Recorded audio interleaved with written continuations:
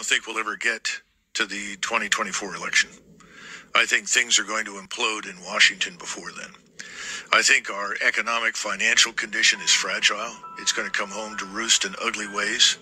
I, I will tell you, I don't know exactly how it will happen. I think we're going to end up in a situation where we find out the banks are closed for two or three weeks and nobody can get into them. You think so? I think we're going to run into something like that, yeah. I also think that the levels of violence and criminality in our cities is so high that it, it's going to spill over into other places in society. Ple- People that normally think they can live remote from the problem are now beginning to be touched by the problem. Then I look at this thing in Ukraine. I think Ukraine is going to lose catastrophically. It's going to be a complete collapse. And that too is going to have an effect here at home because people are going to say, well, wait a minute. Everybody told us Ukraine was winning. Everybody told us X, Y, and Z. I mean, sort of the, the Russian hoax on steroids.